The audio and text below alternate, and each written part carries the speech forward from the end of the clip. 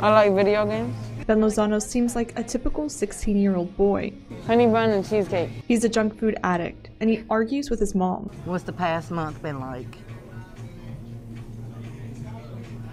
Has it been hard? No. It's been easy. It's been easy? It's been easy? Hasn't been easy for me. Definitely hasn't been easy for me. But Ben's life isn't just like any typical teenager's. He was born with muscular dystrophy, a genetic disease that causes muscles to weaken over time. Already battling one terminal illness, Ben was given another, and even more terrifying challenge. At first it was a headache, and then he started saying pressure, and he just kept saying pressure, pressure. In late October, Ben's mom Val took her son to the hospital. The doctor kind of wanted to just say, it's migraine. And he told us, he said, I'm going to give him some medicine to get him comfortable and send him home. But like any concerned mom, Val knew when there wasn't something right with her son. He turned around and he looked at me and he said, Miss Lozano, do you have anything you want to ask? Because you look like you have something you want to say. And I said, yeah, can we do a CT scan?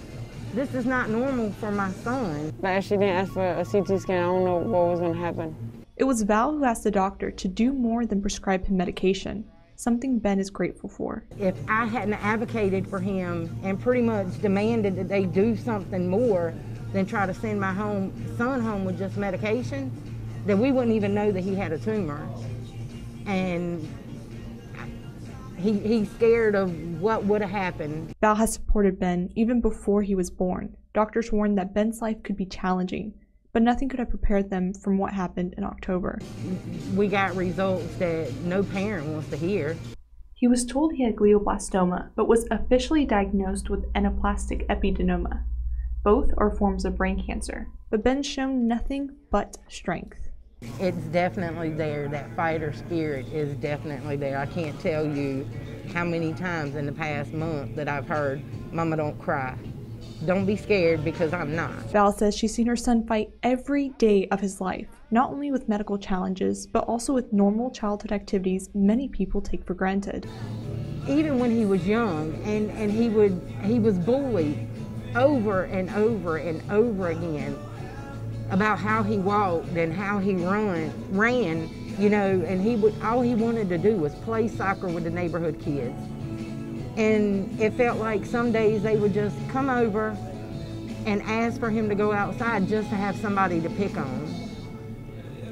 But he was still determined to go back the next day. You know. Mm-mm. Ben's a bit shy in front of the cameras, but his mom Val gives us some insight into the kind of person he is. She tells us a story about a family friend who asked Ben if he could have anything he wanted, what could it be?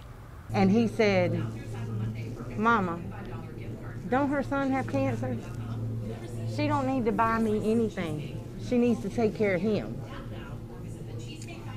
So I told her, I sent her a message back and told her what she said, or what he said.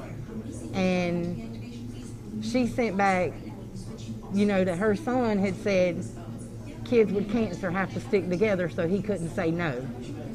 And he says, tell her that they pray for us and we'll pray for them. That's the kind of compassion that he has, and that's what I mean by he thinks about other people regardless of what he has going on. His fight is not only inspiring other kids. Shortly after our interview with Ben, police officers sitting a few tables over gave Ben honorary patches. I think it's still good for me. Even if I have cancer and two terminal illnesses.